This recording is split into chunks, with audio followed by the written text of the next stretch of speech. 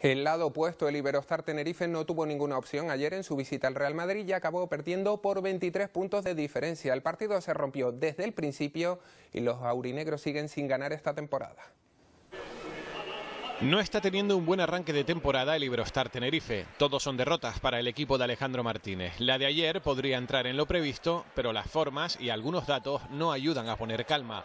El Real Madrid firmó su mejor partido en ataque de los últimos siete años en Liga ACB. Se perdieron todos los cuartos y no hubo ni un jugador rival que no terminara el choque valorando en positivo, síntoma de que la defensa aurinegra hizo aguas. Creo que el equipo, o mi equipo, ha hecho muchas cosas bien, mm, que quizá contra el Madrid pues parece que no están tan bien hechas, pero creo que sí, que sí han estado bien hechas.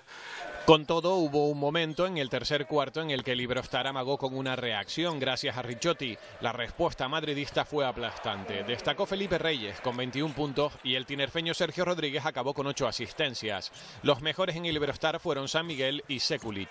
El equipo empezará mañana a preparar la visita del Estudiantes, que igual que los tinerfeños todavía no ha ganado un partido.